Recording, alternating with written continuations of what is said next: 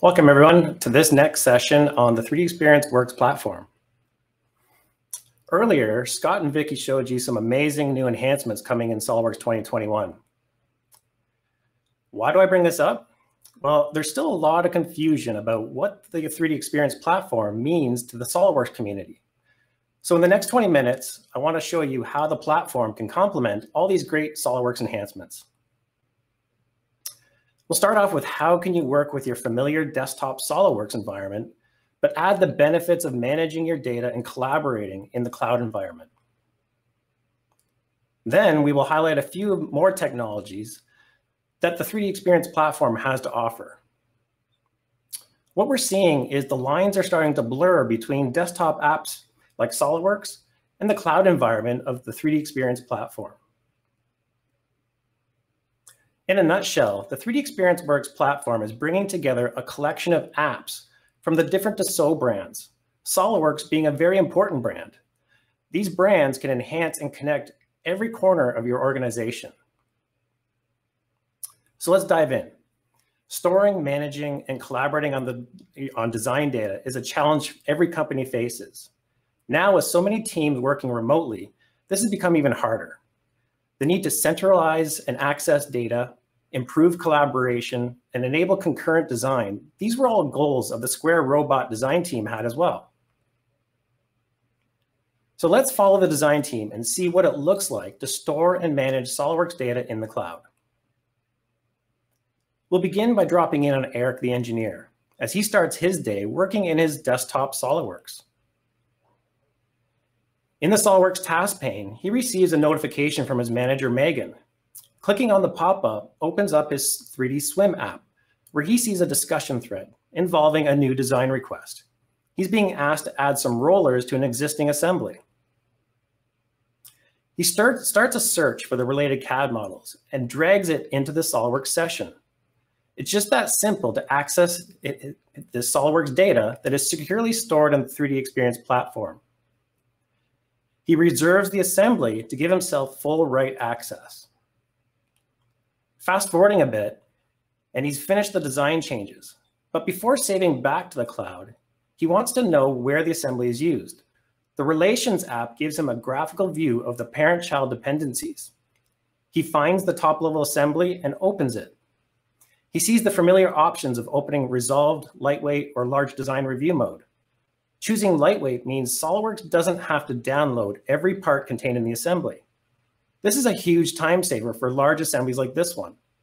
With the top level assembly up to date, he reserves it, and then he can click Save.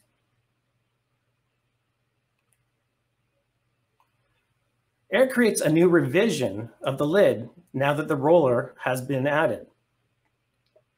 Even though this is a pretty large assembly, save time is efficient because only the models that have been changed need to be saved back up to the cloud. Since the platform was designed with out-of-the-box functionality in mind, little to no setup was needed, meeting ease of use, immediate returns, and productivity gains for the team. So later on, Eric still has some work to do that doesn't require modeling inside SOLIDWORKS. All of his 3D Experience apps are accessible from any browser, and with his data safely in the cloud, he has the freedom to, of and mobility to keep working from just about anywhere and on any device. He can check on updates uh, and his tasks and review any notifications. Now let's switch to another tab in his dashboard. He loads the top assembly into the Product Structure Explorer. This app provides a graphical and list view at the same time. He can arrange and filter the display any way he likes. He locates the newly added roller assembly within the structure so he can attach a supporting document. This case, it'll be a PDF with installation instructions. So others in the company will have easy uh, accessibility and easy way to find these extra pieces of data.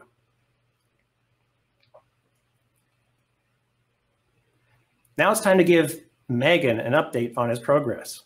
Instead of an email, a phone call, or web meeting, Eric creates an interactive dashboard that we will have the exact information he wants to her to review. First, he adds a 3D Play viewing app preloaded with the top level assembly. He also grabs a screenshot that he can post back to the discussion thread.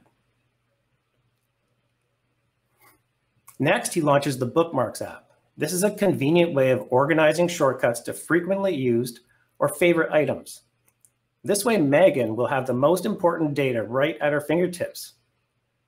When he's ready to share the dashboard, he just copies the link. As a last step, Eric op opens up the 3D Swym app in the side panel. He adds a comment, pastes the link to the shared dashboard, and inserts a screenshot of the latest design.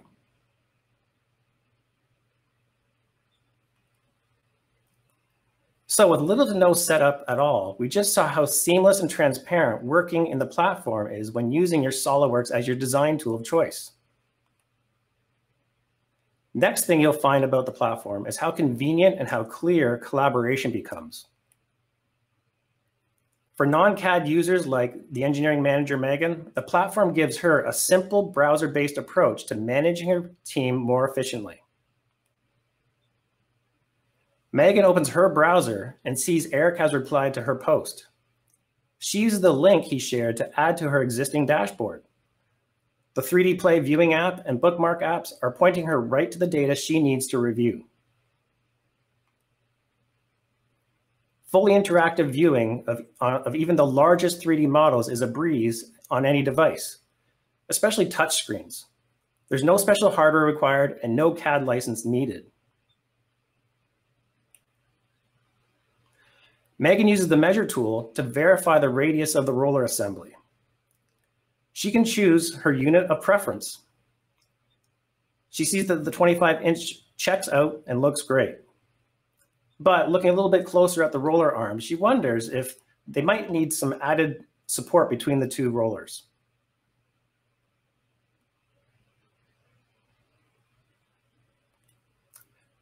So she launches the Issue 3D app to record this concern. It's just one of many ways the team can track problems or change requests in the platform. She tags the 3D models and verifies the right people are assigned to the issue. In this case, Eric will be automatically notified through the platform. There's no need to follow up with an email or a phone call. Next, she launches the 3D markup. This app gives her extended tools to document the issue. She can create multiple views and add some various annotations right on the 3D model. The markup and all other relevant information is contained within the issue and available to anyone on the team.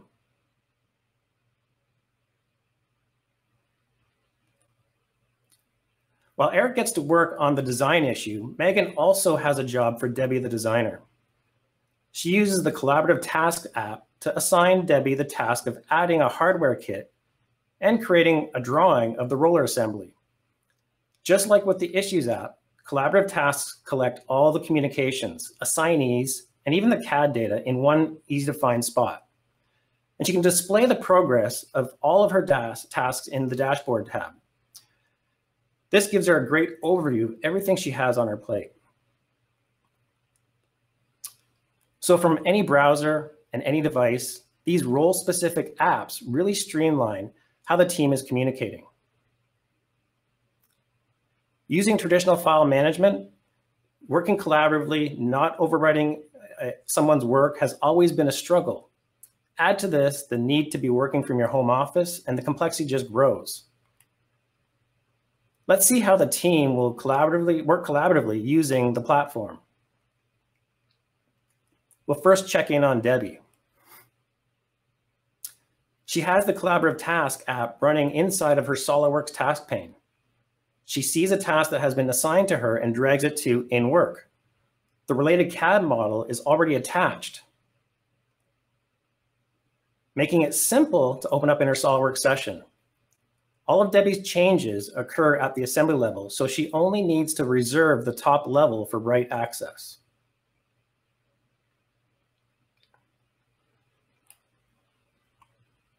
Fast forwarding, she's added the fastener kit and saves it to the cloud so others can, will be able to find the latest updates in case they need to see it.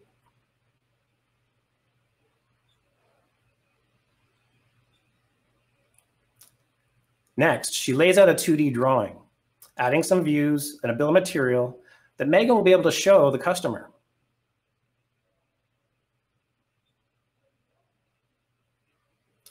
Meanwhile, Eric gets to work on the stability problem. The issue management app keeps track of his progress and carries all the information he needs to get to work. He starts by opening the attached 3D markup. He sees Megan's notes and clicks through the 3D geometry to find the affected subassembly.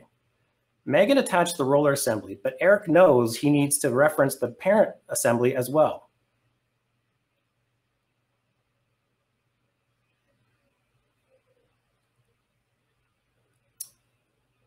So he locates it again through the Relations app and attaches it directly to the issue.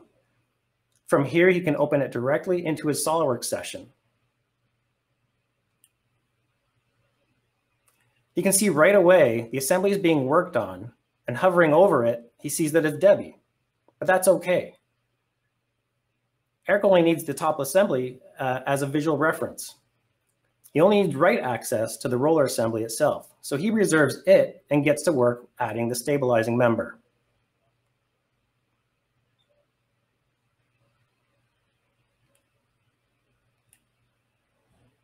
When he tries to save the assembly, he sees that there are subcomponents that also needed to be saved, but he didn't reserve those originally. On the fly, the software gives him write access to those additional files with no interruption in his workflow. The save completes, and now the assembly is up to date and safely stored back in the, up in the platform. The problem solved. Eric then moves the issue status to in approval for Megan to review. Since Debbie is still working on the assembly, Eric wants to let her know he's finished making some design changes. He uses the built-in conversation tool in the right panel to send her an instant message.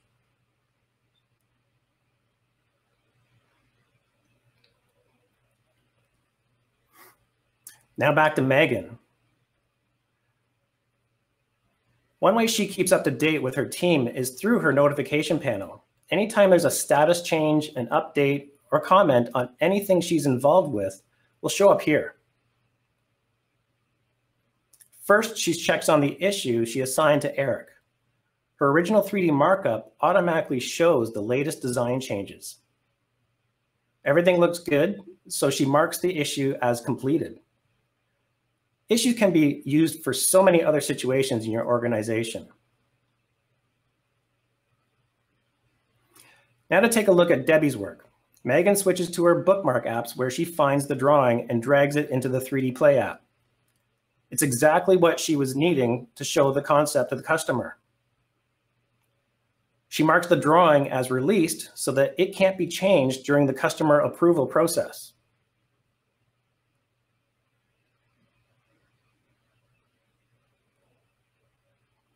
Megan posts a quick comment on her original discussion thread to congratulate the team on finishing this stage of the project.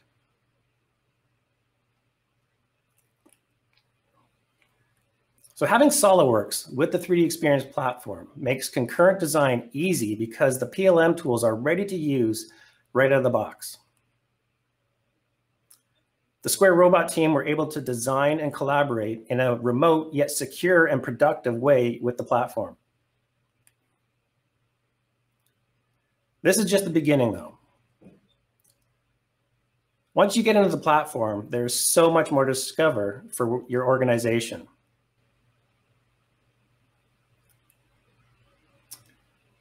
Start off, the 3D Sculptor role adds sub-D modeling capabilities to your design toolbox. The Planner role brings familiar Gantt chart project management with the bonus of being able to connect it to your CAD data. The 3D pattern shape creator role gives you algorithmic generative modeling to allow complex geometry never thought possible in SOLIDWORKS alone.